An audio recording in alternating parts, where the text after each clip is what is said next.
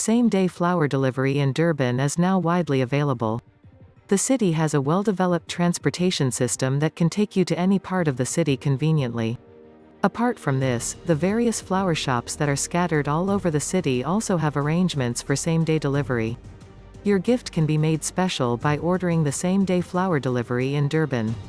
The flower shops usually provide customers with an option of paying in cash while also giving them the option of selecting the bouquet and the fragrance of their choice from among a number of bouquets. The same-day flower delivery in Durban is also very easy to place orders through their websites.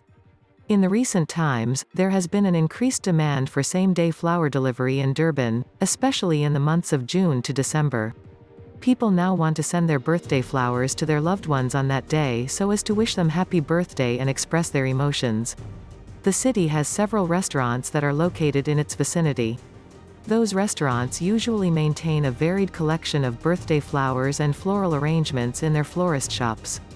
Same-day flower delivery in Durban has become very popular among people who cannot make it to the flower shop on the specific day for which they have planned to send their birthday or other special occasion flowers.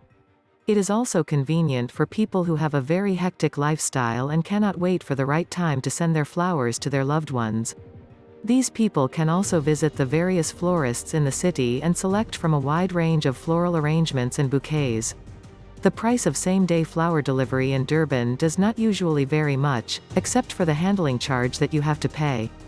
To order your same-day flower delivery in Durban click the link in the description below.